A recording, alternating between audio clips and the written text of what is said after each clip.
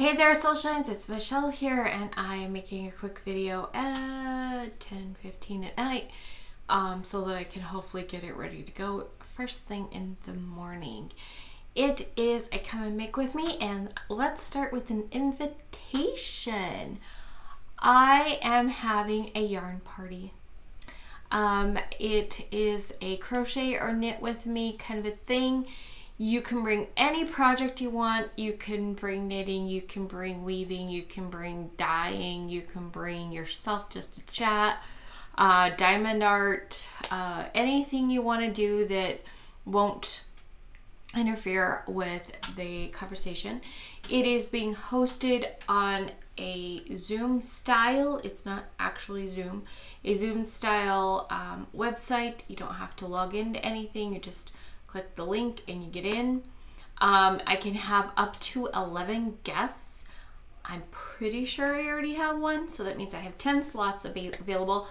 When is this party happening? Um, it is happening on Wednesday at 10 a.m. Mountain Daylight. We're in daylight time. Mountain Daylight Time.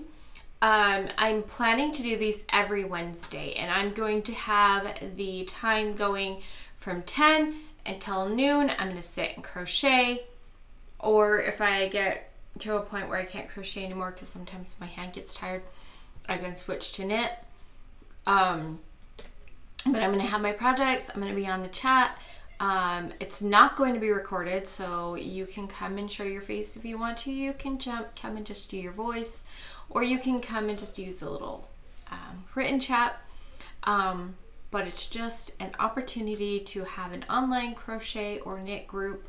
So we're calling it a yarn party. And I would love it if you would come. If you want to come, please send me an email. Um, and I will put you on my list of people to send the link out to. All right. Um, now that the invitation is out of the way, let's talk about hook that subscribe button and like the video and leave some yarn. A comment in the comment section and um, let me know what you're working on and how things are going, all that kind of stuff. Um, right now, I am in the middle of a crochet along that I am doing with Will Work for Yarn. Mary at Will Work for Yarn she is she's a delightful person, guys. She is so fun. I've had a couple conversations with her. Um, got to see her face last week. It was great. We did a yarn party, just the two of us. Last week, it was a lot of fun just to sit and chat with her, just back and forth while I worked on my yarn. Um, and like I said, you can bring a yarn project, you can bring something else, or you can just come and chat with us.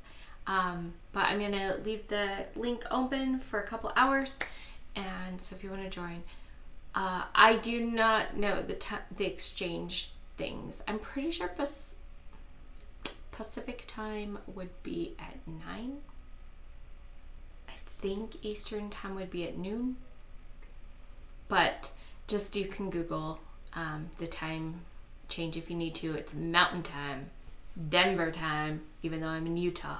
So, yeah, okay. Um, so, what are Mary and I working on? We are working on the uh, Mosaic in a Month by Juniper and Oakes. And I will, of course, put the um, link down below so you can go check that out. So, the first section is this red section with the triangles. And that was a lot of fun. I really enjoyed it. This is my first time doing mosaic. It's overlay mosaic.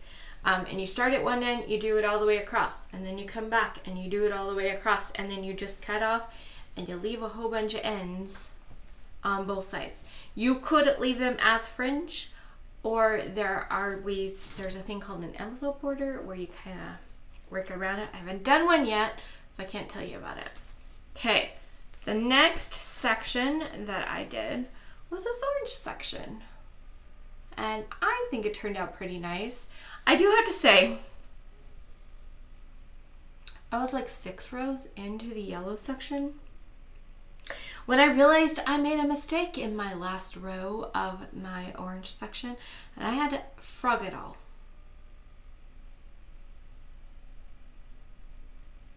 I technically didn't have to frog everything because um, I only had to frog the entirety of, well, probably if could have only frogged back portions, but I ended up just taking it all off because I couldn't figure out where my mistake was for the longest time. But I only had to frog back the row above it partway. Anyway, it doesn't matter. I got it all fixed. I am halfway through the yellow section, so let me show you that. Um, so we got this repeating pattern of these, whatever those are. And so that is what I've got. Um, this is about 60 inches wide. I'm using worsted weight yarn. I am using um, the big twist for this gray color and then these yellow, orange, red, um, all the rainbow colors are from Mainstays and they're all um, worsted weight acrylic yarn. So pretty excited about this. I'm really excited. I cannot wait. I'm just like working my way through. I don't love the yellow section. Um, I'm lo- I loved the, the, I love doing the red. I love doing the orange. Um, I'm not a huge fan of the yellow section. I mean, like I think it looks cool once it's done, but um, I'm not enjoying um, the process of the yellow one. It just not as fun. But looking ahead at the green, I am so excited for the green. I think it's going to be a lot of fun to work across the green. So that will be the color after this, and I'm excited. So be sure to send me an email. Um, the link for my email, like the my email's down below. Um, send me an email if you want to come to the yarn party tomorrow or in the future maybe you can't make it tomorrow but you're like hey michele put me on your list. I want to be there next week. I have something going on this week but i want to be there. I want to participate because um, i would be happy to put you on the list. I think that's going to be a lot of fun. I have wanted a crochet or knit group for a while. Um, i have been hesitant to go like i went to petite fours and pearls which is a yarn store in Lehi. It's a super cute store um, and we were very careful not to touch the wool. But by the time we left, my allergies were flared up, and I was like, stupid wool in the air. And that is why I have avoided knit groups, is because um, there, there are people that use wool, and as somebody who's allergic, just even it flying in the air, um, I don't want people to not have to use it because they want to use like i want people to use the yarn that they want to use.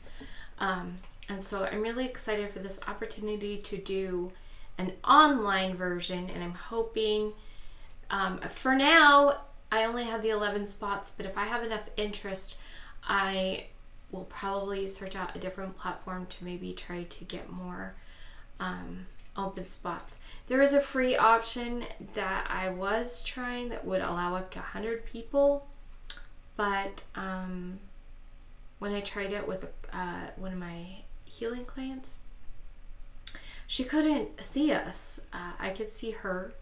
And on my end, everything looked to be re- working, but for some reason, the video wasn't going through to her. So um, I decided to find an alternative. So, so far, I'm liking, I've used the current alternative four times with perfect success. It just has a limit of so many people, so that's kind of a bummer. But um, I actually kind of like that though because then you can keep your group small. Um, so maybe if I have enough interest, I could do um, a yarn group, two yarn groups um, at different times, and then um, you know you can come to one of them. I don't know. We'll see how it goes. Anyway, that's it. That's what I have to say today. Remember to let your light shine through your creations, whatever they be, and I will see you guys next time. Bye.